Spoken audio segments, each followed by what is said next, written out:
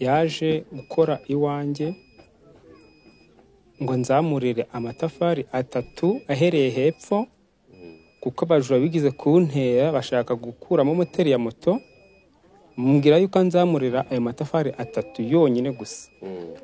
Musiga aho ngaho ndamubwira ati nta muyede urihereza ko nta kantu kuroheje. Ati nta kibazo rwose ndabigukorera ati nta kibazo. Ko nta bintu ntabwo byari kurenza nk'isaha. Cyangwa se iminota nka nk'isaha wenda. Eh, ni uko byagenze. Noneho ariko mu gihe ndi kwitegura nigendeye mu nce za gahanga ko nari ngiye mu kazi ari n'umuntu wamagaye mu nce za gahanga noneho nsiga umuturanyi wanjye witwa bosco ahageze amubwira yuko hari ibyangombwa bye bitakaye muri tuwarete noneho ndizeye uwo nguwo nyakwigendera. Aravuga ati se imetero zingana gute? Metero ni icyenda. Ese bamaze igihe kingana gite? Bawitumamo. Ambwira ko ari amezi atanu. Ndizera aramubwira ati ibyo ndabigukuramo ntugire ikibazo.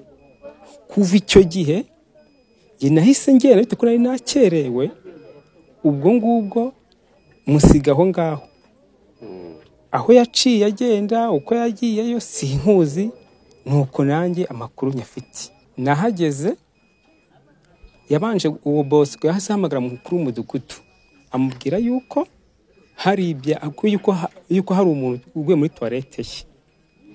Hanyuma nanjye bosco aza kuza kumamagara yuko nyakwigendera yari gukora iwanjye ko nawe aguye muri tuwarete naje murura nanjye nk'abandi bose mahura na mudugudu dusanga koko imyenda yari yambaye n'ibiki byose biri hejuru.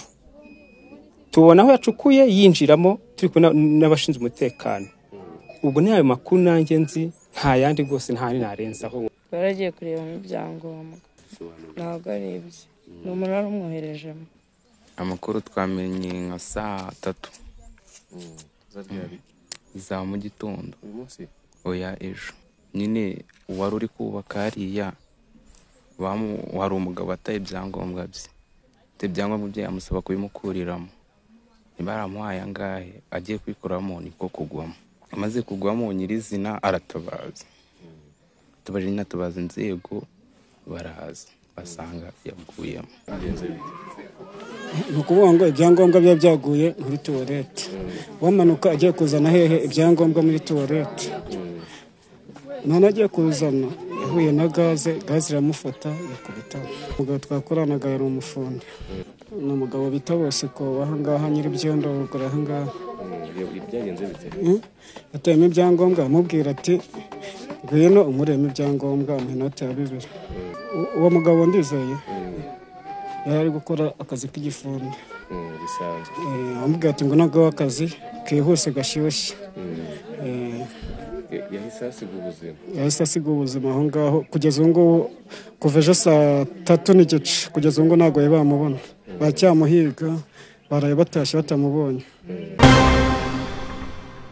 Ni abaturage batuye mu burasirazuba bw'u rwanda mu karere ka nyagatare mu murenge wa musheri mu kagari ka rugarama ya mbere bavuga ko bamaze igihe bafite uburwayi buturuka kuba badakoresha amazi meza nk'uko abo twaganiriye babidutangarije. Ikibazo dufite kijyanye n'amazi twarayabuze tuvoma ibinamba inzoka zigiye kutwica abana bo barimo bararwara n'impiswi bimeze nabi. Turisabira ubuyobozi ko bwa- bwa- bwadufasha bukaduha amazi. N'imyaka cu- icumi.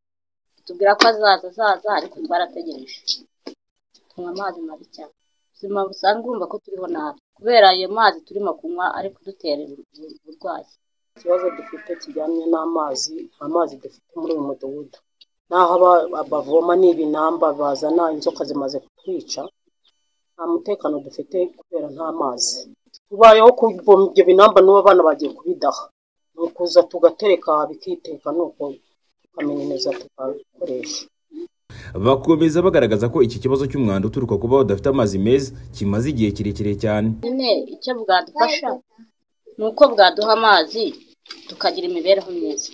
Ndumva kimaze nk'imyaka icumi ndiko nkeka. Ni icumi ariko. Ubuyobozi burabizi ariko bahora basaba umuriro bagasaba n'amazi. Hari n'igihe bavuze ngo gurira gari hafi kuza ariko twarategereje twarayabuze. Ni mu gihe kuri iki kibazo ku murongo wa telefoni twavuganye n'umunyamabanga nshingwabikorwa w'umurenge wa musheri. Adusubiza mu magambo ye agira ati nitwa andrew ndamage. Amazi cyo ni ikibazo rusange mu murenge wa musheri.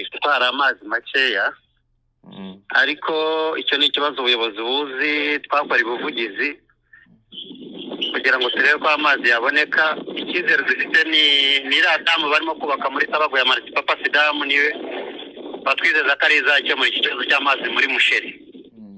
Naho ni ikibazo cy'amazi make ahari abaturage turabwira bihangane twagerageje gushaka amanayikondo kugira ngo ariyo baba bakoresha niyo arimo gukoreshwa ubu ngubu ariko amazi y'imiyoboro nta mazi dufite mu murenge wa musheri ni make cyane. Ni ukwihanganisha abaturage mu gihe leta ubuyobozi burimo gushaka ukuntu uriya muyoboro wakora kugira ngo babone amazi. Remi ngabo nziza btn tv mu burasirazuba bw'u rwanda mu karere ka nyagatare mu murenge wa musheri.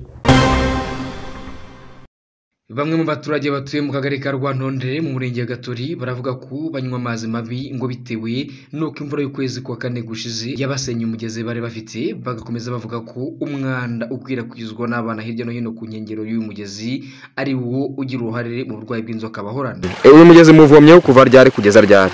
Tuvomyeho guhera muri mirongo inani. Dusaba ubuvugizi bwo kudukorera amazi rimwe na rimwe n'umuvu ukaza ukadusenyera mu masamu ntitubone icyo kurya kubera amazi. None hajemo umwanda amabyi iki buri gihe cyose tuba dusaba ubuvugizi. Mbega tubonye amazi meza nk'ubu nk'ubu ndwara umuvuduko. Mvuga yuko waturutse kunywa amazi mabi ku buzima bubi. Amazi nta kibazo dufite. Adutera inzoka tukavoma umwanda so n'inzoka usanga zigaraguramo kandi ugasanga natwe bakuru dufite ubuzima bubi. Rero icyo mwadukorera ni ubuvugizi mukatuvuganira bakatwohereza amazi meza natwe tukagira ubuzima bwiza. Amazi nyine baya- bayanywa uruhanda intuzi imvura igashoka ikamanuriramo iyo misarane baba bitumye aya mazi mwavomye igihe kingana iki? Ni kinini pe. Amazi se ko twamye tuyavoma n'ubundi. Ubu mugezi ari ubumeze amazi mabi cyane. Tuvoma. Mbega tuza tuyadaha hasi atemba hasi. Nta- matiyo ariho ni cyo usaba leta? Eh, ndasaba kudukorera amazi meza tukajya tunywa amazi meza ayunguruye nta n'ibikeri birimo kuko bidutera n'inzoka nyinshi cyane. Bagakomeza bavuga ko ngo niyo bayatetse amara iminsi ibiri yonyine akazamo ibintu birinduka ngo kubw'umwanda aba afite uvanze n'impumuro mbi. Amazi iyo tuyatetse rwose aba yamaze iminsi ibiri aba arimo ibintu birenduka akanuka Yego. muyavomye igihe kingana iki ubwo twavuganaga n'umuyobozi w'umurenge wa gatori bwana aderetse hakizamungu tukamugezaho iki kibazo cy'abaturage maze tukanamubaza icyo biteguye gufasha abaturage kuri iki kibazo. Yavuze ko hari umuti w'iki kibazo kandi ku buryo burambye. Eh, hari isoko y'amazi yakwirakwizaga amazi aho ngaho ituruka ahantu bita mu bitoma.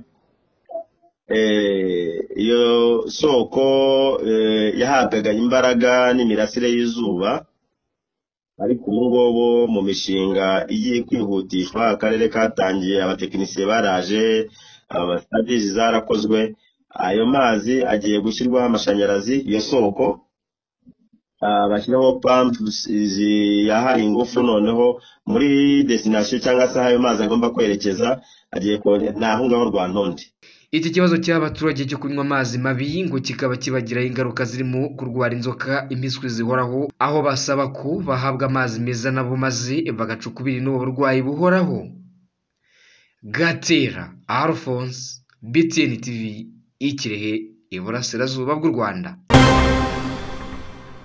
Ni kanguye marita utuye mu burasirazuba bw'u rwanda mu karere ka nyagatare mu murenge wa rwemasha mu kagari ka gasiga. Ufite ubumuga bw'ingingo. Kuri ubu barashimira abakurikira btn tv babashije kuba bamufasha kugira ngo ashobore kuba yahindurirwa imibereho nk'uko abisobanura. Ndashimira ubuyobozi bwa dpn bwankoreye ubuvugizi bangirira neza ntabazi ntazi aho batuye ntazi aho bari. Ngiye kubona mbona bohereje ikigomba kuntunga imana izaba ibahera umugisha. Ababikoze bose bazambara amakamba y'ubugingo imbere y'imana. Bangiriye neza cyane. Akomeza agaruka kuri iyi mibereho ye. Gusa akagaragaza ko afite amashimwe menshi. Kandi nanjye imana yampaye impano nziza nzima njya nyishimira nkibasha kugera mu rusengero nkajyana amaturo y'ishimwe nkayashyira mu gaseke. Simvuge icyo imana yankoreye. Imana yampaye impano zo kwihangana. Ntabwo nanduranye n'abo duturanye ngo nuko ndi ikimuga nenda gupfa ameze nabi. Kandi noneho ndi jyenyine ndi nkeho abana banjye barashize. Mbwira abantu bamfashije ahantu bankuye naho baca umugani ngo naho amazi agera iriba imana ishimwe cyane izabaho umugisha izabarinde imbere n'inyuma izabarinde ababisha izabarinde kubabara izabarinde gupfa urwo imana izabaho umugisha rwose. Abantu bangiriye neza.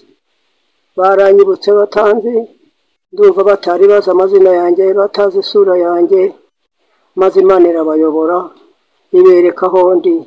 Imana ibishimirwe nabo kandi barakoze kumvira amahame y'imana bagakora ibyo imana ishaka. Remi ngabo nziza btn tv mu burasirazuba bw'u rwanda mu karere ka nyagatare mu murenge wa rwemasha